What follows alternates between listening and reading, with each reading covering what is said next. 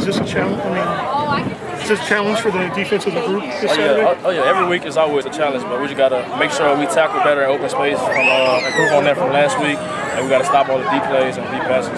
That's there, uh, have you ever played? Have you ever faced a quarterback like D'Eriq King? Oh yes, um, Greg Ward two years ago. They're pretty similar players, and we faced them twice. So we just gotta. Last time we played them, we contained them pretty well, so we gotta do the same thing. What is the biggest similarities or, or differences between Greg Ward and D'Eriq King? Uh, they're or are they both- really clones in your eyes? Yeah, they, they both look like the same player. They're both really fast and elusive, and they, they can throw good deep balls. So we just gotta contain them and keep them bubbled up. So you want to keep them in the pack, pocket and make them throw? Yeah, that's what we want.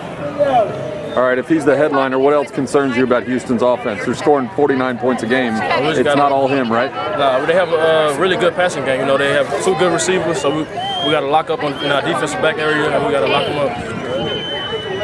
In my view, I don't know if you agree, but you're having an outstanding season. Do you feel that way? Do you feel comfortable the way you're playing? Do you feel like you've been productive?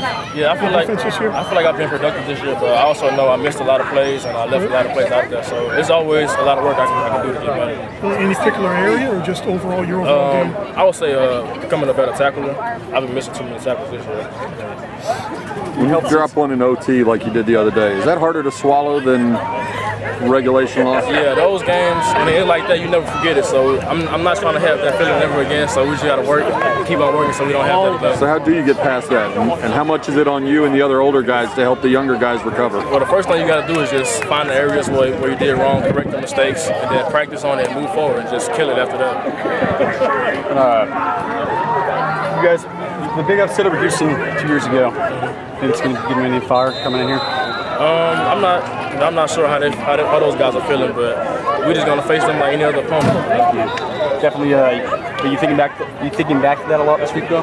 Nah, not not really. Not really. On the subject of your season, have you had a, a new defensive coordinator this year? Did that take any adjustment, or was it pretty quick? You're able to pick up what he wants you to do and what he's asking of you.